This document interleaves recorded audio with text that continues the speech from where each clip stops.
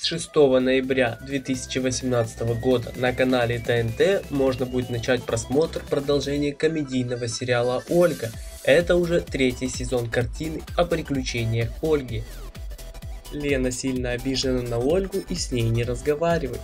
Володя решает помирить сестер, но немного перегибает палку. Аня устраивается на работу и встречает там рыцаря без страха и упрека.